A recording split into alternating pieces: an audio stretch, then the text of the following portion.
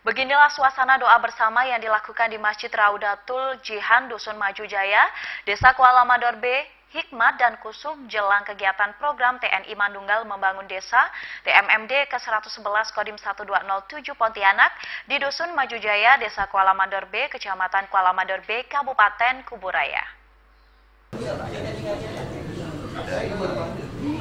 Menjelang kegiatan program TNI Manunggal Membangun Desa TMFD ke-111 di Dusun Maju Jaya, Desa Kuala Mandor B, Kecamatan Kuala Mandor B, Kabupaten Kuburaya, Kodim 1207 Pontianak gelar doa bersama dengan pemerintah kecamatan desa, dusun, serta masyarakat.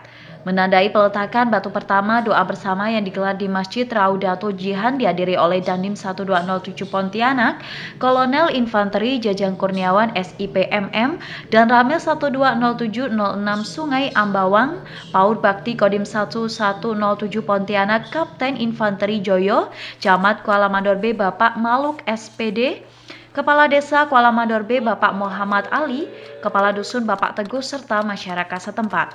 Doa bersama merupakan kewajiban kita sebagai umat manusia, sehingga pekerjaan yang akan dilakukan akan mendapat hasil yang baik dan diberikan kelancaran. Selain doa bersama, peletakan batu pertama yang dilakukan di lokasi TMMD ke-111 di Dusun Maju Jaya, Desa Kuala Mandor B pun berjalan lancar. Sebagai pengelola masjid, Rudotul Dinan, ya, selalu selaku pemimpin doa tadi, ya untuk melaksanakan program TNI kebetulan wilayahnya di di kampung saya sendiri. Nah, seterusnya ya mudah-mudahan kita bersama dalam keadaan sehat lancar mudah-mudahan dapat ridho Allah. Pelaksanaan ini mudah-mudahan sampai selesai 100% dengan dukungan masyarakat setempat bekerjasama dengan anggota TNI tersebut. Nah, demikianlah penyampaian kami Terima kasih.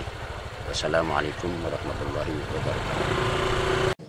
Semua rangkaian kegiatan berjalan dengan lancar baik doa bersama di masjid maupun kegiatan peletakan batu pertama di lokasi TMMD.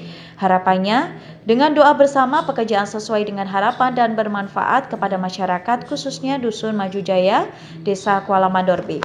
Tim Liputan KSTV.